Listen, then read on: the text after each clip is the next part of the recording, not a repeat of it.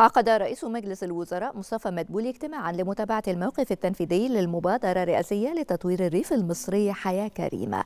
واستهل مدبولي الاجتماع بالإشارة إلى المتابعة الدورية التي توليها الحكومة للموقف التنفيذي للمشروعات ضمن المبادرة الرئاسية حياة كريمة بما يسهم في سرعة الانتهاء من المشروعات الخدمية التي يستفيد بها سكان هذه القرى.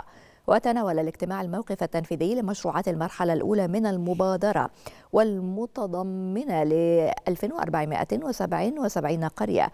ونسب تقدم الأعمال بتلك المشروعات. والموقف التنفيذي لأعمال المرافق في عدة قطاعات.